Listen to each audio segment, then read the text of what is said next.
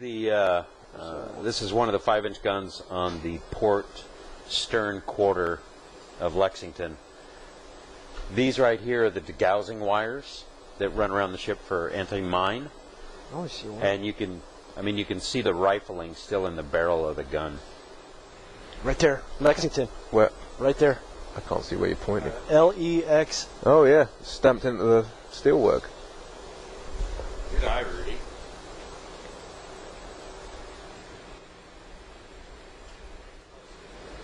If there was ever any question